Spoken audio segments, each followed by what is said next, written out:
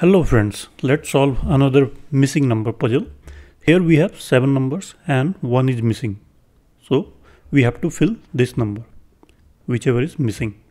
So first let's pause the video and try to solve it yourself. Hopefully you would have figured the answer, but if not, let's see. So let's start with this 15.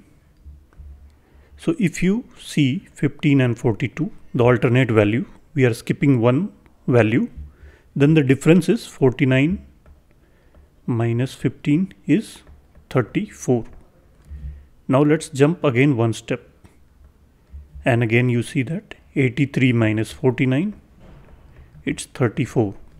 Similarly, if you jump again one alternate step, you get 117 minus 83, which is 34 next time you come back to the place where you started so you don't, you don't have to go there. Same for 32 if you see whatever number here is that number minus 32 it should be 34 so that number would be 34 plus 32 that is 66 so let's fill 66 here.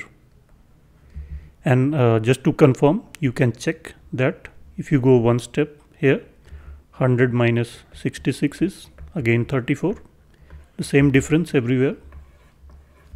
And then 100 134 minus 100 is again 34 so difference between uh, one alternate step is 34 in the clockwise direction. So i hope uh, you enjoyed this puzzle. Subscribe for more